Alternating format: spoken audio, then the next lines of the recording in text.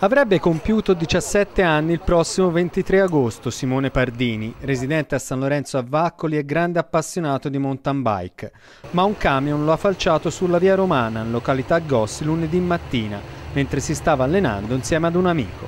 Il sedicenne è morto sul colpo, illeso invece l'altro ciclista, un ragazzo di 19 anni residente a Sant'Anna e tesserato presso l'Unione Ciclistica Pistoiese.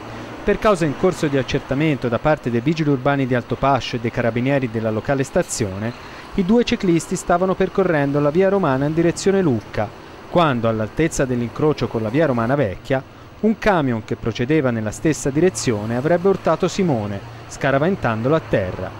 Immediati soccorsi, ma per il giovane non c'è stato niente da fare. Ad un primo esame sarebbe morto sul colpo a causa della violenza dell'urto.